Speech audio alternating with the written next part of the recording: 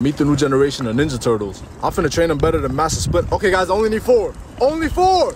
Yo, stop! Never taking him back to these groomers, bro. They done gave my boy Coco Edgar cut. Like, bro just went in to get his dreads retwisted. Oh, that boy a freak. Oh, that shit stink.